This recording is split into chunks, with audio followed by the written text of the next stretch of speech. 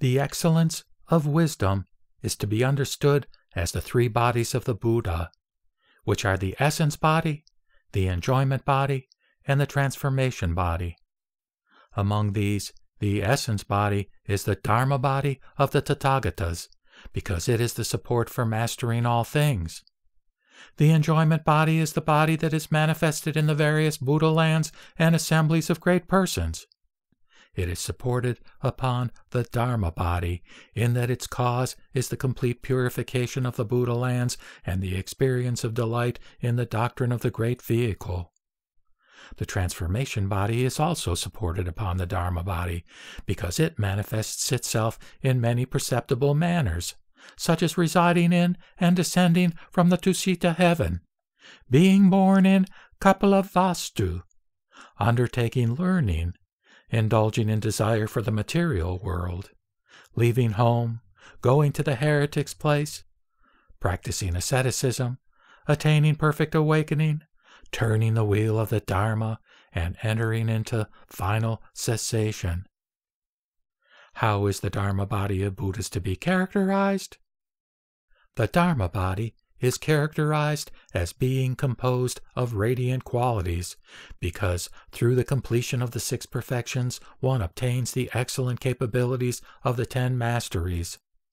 Among these ten masteries, the mastery over the duration of life, the mastery over mind, and the mastery over necessities are obtained through the fullness of the perfection of giving. The mastery over act and the mastery over birth are obtained through the fullness of the perfection of discipline. The mastery over commitment is obtained through the fullness of the perfection of patience. The mastery of other vow is obtained through the fullness of the perfection of zeal. The mastery over miraculous powers, which include the five supernatural faculties, is obtained through the fullness of the perfection of meditation and the mastery over understanding and the mastery over doctrine are obtained through the fullness of the perfection of wisdom. The Dharma body is characterized by non duality, because, being characterized by the non duality of existence and non existence, all things are non existent, and their characteristic of emptiness is not non existent. It is also characterized by non duality of the conditioned and unconditioned, because it is not engendered by acts and passions, but is powerful in manifesting itself in conditioned images.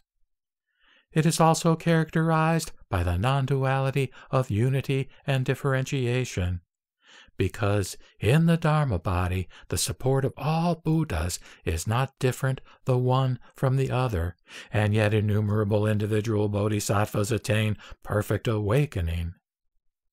The Dharma body is characterized by eternity, because it has the purity of suchness as its characteristic, because it is under the impulse of former vows, which are never abandoned, and because its activity and action are unending.